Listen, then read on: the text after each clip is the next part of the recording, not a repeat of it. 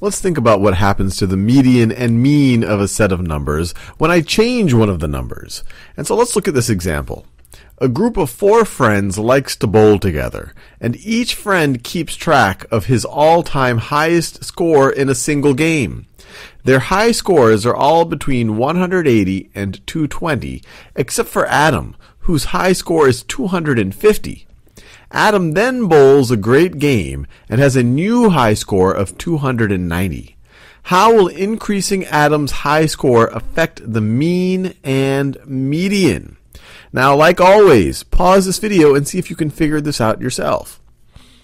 Alright, so let's just think about what they're saying. We have four friends, and they're each going to have, they each keep track of their all-time high score. So we're going to have four data points, an all-time high score for each of the friends.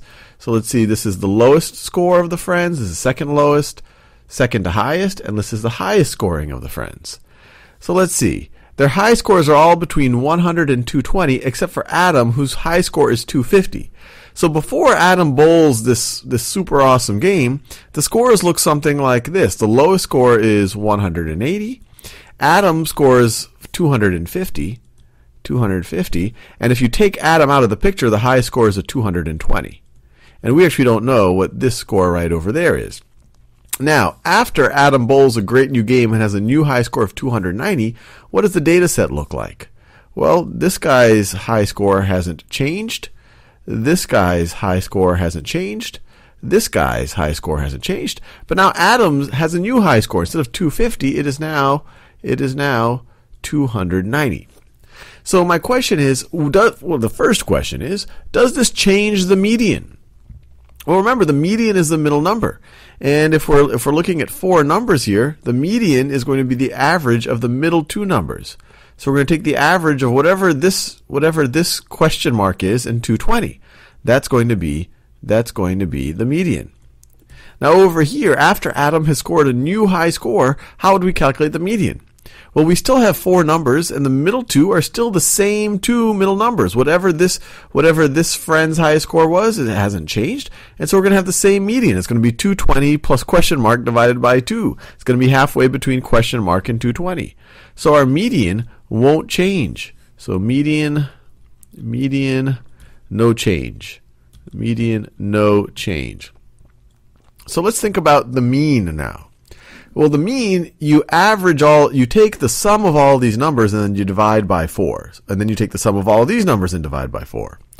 So which sum is going to be higher?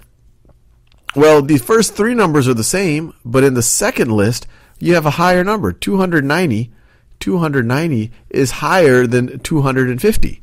So if you take this, these four and divide by four, you're going to have a larger value than if you take these four and divide by four because their sum is going to be larger.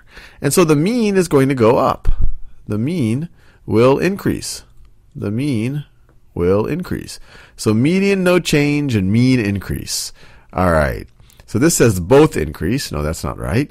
The median will increase. No, median doesn't change. The mean will increase. Yep and the median will stay the same. Yep, that's exactly uh, that's exactly what we're talking about. And if you want to make it a little bit more tangible, you could replace question mark with some number. You could replace it. Maybe this question mark is 200. And if you if you try it out with 200 just to make things tangible, you're going to see that that is indeed going to be the case. The median would be halfway between these two numbers, and I've just arbitrarily picked 200. It could be any number, someplace, someplace between 180 and 220.